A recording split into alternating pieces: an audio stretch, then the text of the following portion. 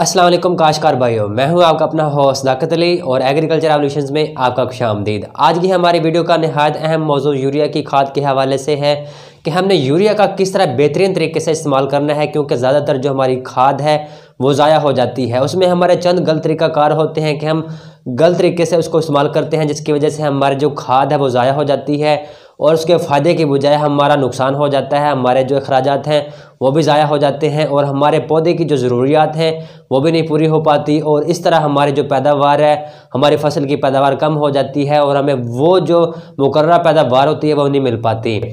Urea का हमारे ज़रात में बहुत ज़्यादा इस्तेमाल किया जाता है, जो हमारे किसान भाई हैं, उनके लिए एक फेवरेट खाद है जो इसको बहुत ज़्यादा इस्तेमाल करते हैं। यकीनन इसको हर फ़सल में, हर सब्ज़ी में, हर ज़मीन में इस्तेमाल किया जा सकता है।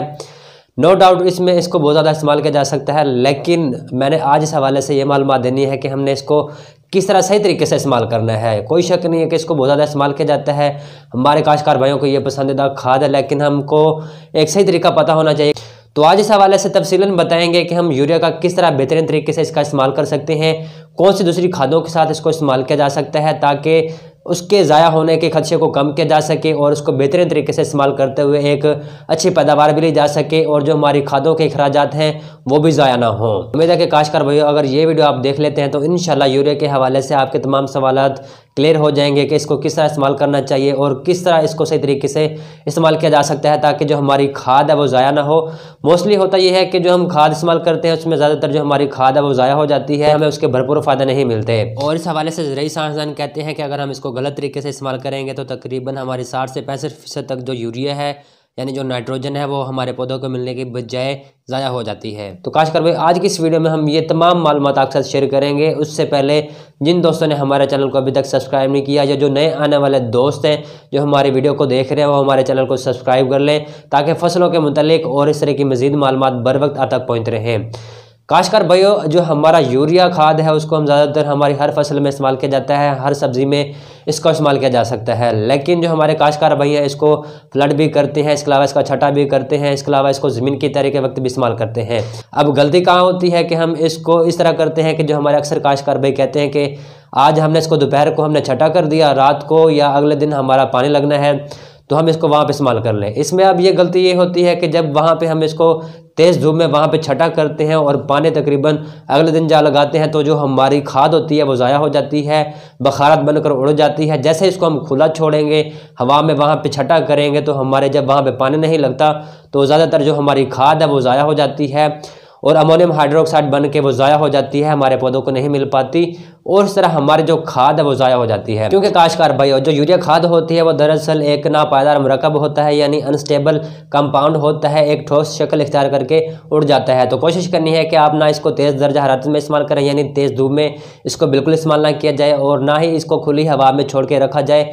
यानी जब आपको इस चीज़ का यकीन हो जाएगा कि आपके बारे में, आपके पानी लगाने में कोई देर नहीं है तो वहाँ पर इसको इस्तेमाल कर लिया जाए ताकि ये वहाँ पर अमोनिया गैस बन के ज़ाया ना हो और वहाँ पर हमें इसके अच्छे फ़ायदे मिल जाए। और इसके अलावा हमारी यूरिया खाद उस वक्त ज़ाया हो सकती है जब हम इसको ज़्यादा पीएच वाली ज़मीन में, यानी सात ज़मीन में इसको इस्तेमाल करते हैं। तो वहाँ पे ज़्यादा पीएच की वजह से वहाँ पे अमोनियम हाइड्रोक्साइड का जो बनने का अमल है वो तेज़ हो जाता है, जिसकी वजह से ये बुखारत बन के उड़ जाती है, ज़ाया हो जाती है। तो कोशिश करें कि जो ज़्यादा पीएच वाली ज़मीनें हैं, वहाँ पर इसको ज़्यादा इस्तेमाल ना किया जाए। और वहाँ पे ये जो हमारे कम से ज़मीनें हैं वहाँ पे इसको इस्तेमाल कर लिया जाए। इसके लिए रिकमेंड किया जाता है कि जिसकी पी ज़्यादा हो तो वहाँ पे आप कोशिश कर लें कि कैन गवारा वाले जो खाद है यानी जो कैल्शियम अमोनियम नाइट्रेट है उसको वहाँ पे इस्तेमाल कर लिया जाए या जो दूसरी नाइट्रोजन वाली खादें हैं उनको इस्तेमाल कर लिया जाए ताकि आप बर वक्त इनको इस्तेमाल करते हैं वहाँ पर उसके अच्छे नताज हासिल कर सकें। अब बात कर लेते हैं कि इसको बेहतरीन तरीके से किस तरह इस्तेमाल किया जा सकता है किन खादों के साथ इसको इस्तेमाल किया जा सकता है। तो काशकार भाई, जब इस्तेमाल की बात करते हैं तो आपने कोशिश करनी है कि जब वहाँ पे इसको आप छटक कर रहे हो तो कोशिश करें कि ये पत्तों पर, हमारे पौधों पर डायरेक्ट वहाँ पे अटक ना जाए। अगर वहाँ पे अटक गई तो वहाँ पे हमारे पौधे और पत्ते जल सकते हैं। तो कोशिश करनी है कि जब आपको इस चीज़ की तसल्ली हो जाए कि वहाँ पे आपके पानी लगाने में कोई देर नहीं है तो वहाँ पे आप पानी लगाने के बाद वहाँ पे इसको, पानी लगाने के बाद छटा कर लें। आकाशकार भाई आप इस तरह भी कर सकते हैं, जैसे कि वहाँ पर आप इसको फ्लड करते हैं तो जब दर्जा, हरारत और हवा नॉर्मल हो तो वहाँ पर आप इसको वाफर पानी के साथ मिला के फर्टिकेट भी कर सकते हैं, फ्लड भी कर सकते हैं। तो इससे होगा क्या कि वहाँ पे पानी के साथ ये केमियाई अमल बना के जो ये नाइट्रिक एसिड में तब्दील हो जाएगा, यानी जो तजाबी शोरा है वहाँ में तब्दील होकर वहाँ पे हमारे पौधों को हमारी ज़मीन में बास आने चला जाएगा और हमारे पौधों को अवेलेबल हो जाएगा, दस्तियाब हो जाएगा। और इस सूरत में हमारे जो नाइट्रोजन है वो ज़ाया नहीं होती और हमारे पौधों को बास आने मिल जाती है। इसका यह भी फ़ायदा होता है कि जब वहाँ पे जो हमारे ज़मीनी बैक्टीरिया होते हैं, यानी जो दोस्त कीड़े होते हैं, वो भी मुतासर नहीं होते, उनकी एक्टिविटी में इजाफा हो जाता है। इसके अलावा वहाँ पे जो हमारे नामियाती मादा होते हैं, वो भी नहीं जलते। इसके अलावा हमारी ज़मीन को भी कोई नुकसान नहीं पहुँचाते और वहाँ पर जो हमारे पौधे हैं, वो भी जलने से बच जाते हैं। तो ये एक बेहतरीन तरीकाकार होता है कि वहाँ पे आप पानी लगाएँ, पानी लगाने के बाद वहाँ पे इसको छटा कर लें या फिर इसको आप ड्रम में घोल के वहाँ पे अपनी ज़मीन में इस्तेमाल कर लें। तो इस तरीक़ाकार से इन जो हमारी नाइट्रोजन है वो कम से कम ज़ाया होगी।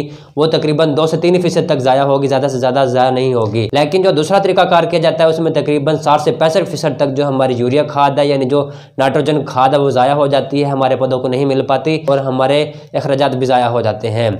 इसके अलावा काशकार भाइयों ये सिफारिशात दी जाती हैं कि आप इसको फास्फोरसिक खादें इसके अलावा जो सल्फ़र वाली खादें हैं यानी जो डीएपी वाली खादें हैं इनके साथ भी इस्तेमाल कर लें तो वहाँ पे जो हमारी नाइट्रोजन है कम ज़ाया होगी और वहाँ पे जो दूसरी खादों के इस्तेमाल हैं उनमें बेहतरी आएगी और जो हमारा नाइट्रोजन है वो भी बेहतरीन तरीके से हमारी ज़मीन में सही से इस्तेमाल हो पाएगा और उसके ज़ाया होने के चांसेस कम हो जाते हैं। और इस हवाले से जो हमारे काश्तकार हैं नाइट्रोजन के हवाले से काफ़ी इलम रखते हैं कि हमने इसको कब इस्तेमाल करना है और किस तरह इस्तेमाल करना है इसके क्या फ़ायदा हो सकते हैं। ज़ाहिर सी बात है कि जो नाइट्रोजन है हमारे पौधों की बढ़ोतरी में तने की और शाखों की बढ़ोतरी में और वहाँ पे वेजिटेटिव ग्रोथ के लिए यानी हरियाली के लिए इस्तेमाल किया जाता है। लेकिन अगर हम इसको अच्छे तरीके से इस्तेमाल कर लेते हैं तो हमें अच्छे नतज मिल जाते हैं। जो हमारे खादों के अखराज होते हैं वो भी ज़ाया नहीं होते और हम उसके अच्छे भरपूर नतज हासिल करने के साथ वहाँ पर अच्छी पैदावार भी हासिल कर पाते हैं। तो कोशिश करनी है कि काशकार भाई इसमें मैंने चंद पॉइंट बताया कि आप इसको तेज़ धूप में भी इस्तेमाल ना करें। इसके अलावा वहाँ पर आप पानी लगाने के बाद वहाँ पर इसको छट्टा करें या फ्लड के ज़रिए भी इसको इस्तेमाल किया जा सकता है और इसके अच्छे नतज हासिल किए जा सकते हैं। तो उम्मीद है कि काशकार इन मालूम से आपके इलम में इजाफा हुआ होगा और ये मालूम आपको पसंद आई होंगी। अगर ये मालूम आपको पसंद आई है तो इसको लाइक भी करें, दूसरे काशकारों तक ज़्यादा से ज़्यादा शेयर करें ताकि दूसरे काशकार भी इन मालूम से फ़ायदा उठा सकें। और इस तरह की मजीद मालूम हासिल करने के लिए हमारे चैनल एग्रीकल्चर एवोल्यूशन को सब्सक्राइब करने का थोड़ा सा तकल्लुफ़ कर लें ताकि फ़सलों के मतलब और इस तरह की मजीद मालूम बर वक्त आता पहुँचते रहें। और इसी के साथ अपने हौसला तली को इजाज़त दें। अल्लाह हाफिज़।